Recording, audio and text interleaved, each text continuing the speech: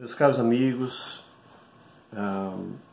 eu, Alexandre Diniz, gostaria de falar algumas coisas sobre diversos, diversas coisas que estão acontecendo no nosso país, o Brasil, no cenário político e nessa situação toda em que a Polícia Federal tem se enganjado veementemente para tentar acabar, né, de certa maneira, minimizar a corrupção no, no nosso país. Ah, nós temos é, vários candidatos, estamos no ano eleitoral, no ano 2018, temos as nossas eleições de outubro. Muitas pessoas têm ficado em dúvida sobre quem votar, né?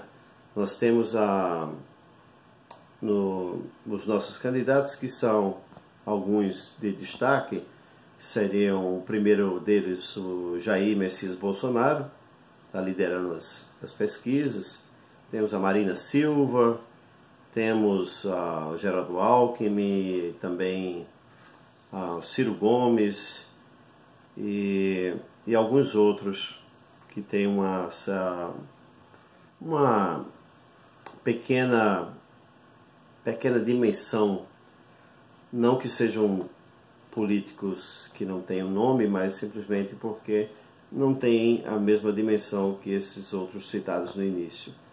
Um, muitas pessoas têm comentado sobre o fato do Jair Bolsonaro ser durão, o fato dele fazer certas citações ah, com veemência, ah, suas declarações, eh, por exemplo, em relação à estrutura do sistema carcerário no país, né? os presídios, a situação em que os presídios se encontram, na condição subhumana em que os presidiários se encontram. Né? E quando ele fala de, de que é bom, se a pessoa não queria estar nessa situação, que não fizesse nada errado. Né? E pessoas dizem que não, mas a cadeia é para a pessoa poder melhorar e aprender, se arrepender do que fez e se ressocializar. E da maneira como a, a, os presídios são, ninguém vai se ressocializar lá dentro. Muito pelo contrário, vão ficar junto com outros criminosos e vão, de, de certa maneira, passar a praticar crimes ainda maiores. Bom, e o que Bolsonaro menciona de que se a verba existe hum, e aí ele teria, terá que fazer uma destinação de determinada verba, ele vai priorizar as escolas e hospitais e não que ele não vá fazer nada em relação aos presídios, vai fazer eventualmente, mas a prioridade são as escolas e os hospitais e a segurança pública. É? Isso é prioridade. Porque um criminoso que, que mata, né, um, participa de um latrocínio, mata um cidadão de bem para roubar um celular, para roubar um relógio, né? e ninguém pode hoje em dia no Brasil ter uma motocicleta boa porque bandidos vão chegar e vão roubar aquela motocicleta e vão atirar em você, mesmo que você entregue o seu bem para eles assim de, de boa vontade, sem nenhum problema, eles vão fazer isso. Então, por que, ah, por que é que ah, pessoas tentam defender tanto esses criminosos que não são, não são pessoas, são monstros, né? e que eles estão passando certas dificuldades nos presídios. Não, acho que eu concordo com o Jair Messias Bolsonaro, ele está muito certo quando ele responde dessa maneira. Outra coisa que ah, o brasileiro, né, a sociedade em geral, pelo menos a mídia, não a sociedade em geral, na verdade a sociedade em geral tem apoiado, as, de acordo com as pesquisas, tem apoiado o Jair Bolsonaro, mas a mídia fala muito sobre ser radical, que o Jair, Jair Messias Bolsonaro é muito radical. Alguém acha que o Brasil teria uma solução, a não ser que, que seja uma pessoa enérgica, que seja uma pessoa radical para poder movimentar esse país, para poder acabar com a sujeira desse país. Não é fácil. O Brasil só tem jeito com a mão de ferro. Se não for assim, jamais vai se consertar. O país é maravilhoso e nós temos que fazer alguma coisa agora. Jair Messias Bolsonaro ele não é entreguista.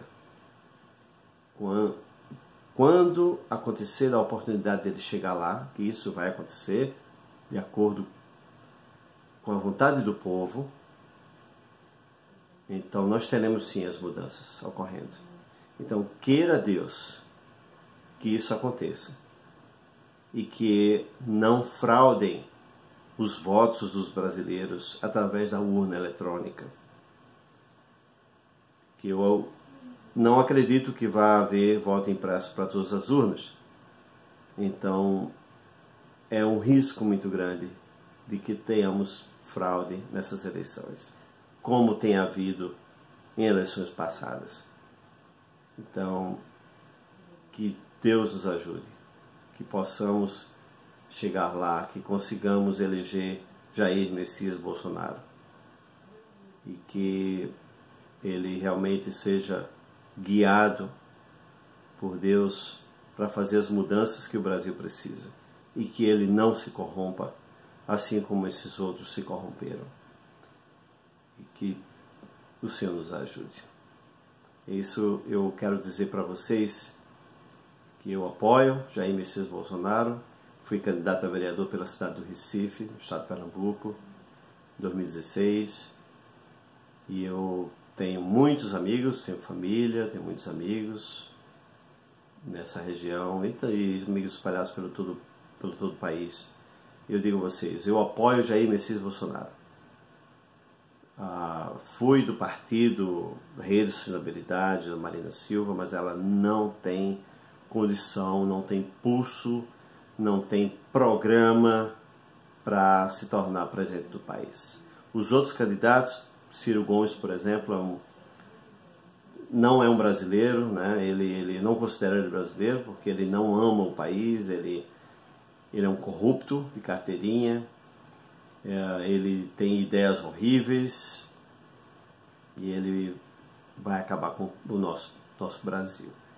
Nós queremos mudança, nós queremos melhorar de vida, nós queremos ter liberdade de poder andar nas ruas sem o medo de ser assaltado, de ser levar um tiro, sem a, o, o, medo de você ter os seus filhos indo para a faculdade, indo para o trabalho e sem ter a certeza de que eles vão voltar para casa.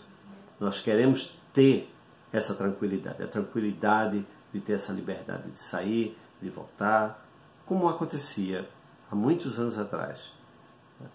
Quando eu era adolescente, saía para atividades junto com meus amigos, todos jovens, íamos, voltávamos para casa, muitas vezes a pé, nós não tínhamos carro, muitas vezes voltávamos a pé tarde da noite, sem problema nenhum, sem ter nenhuma violência.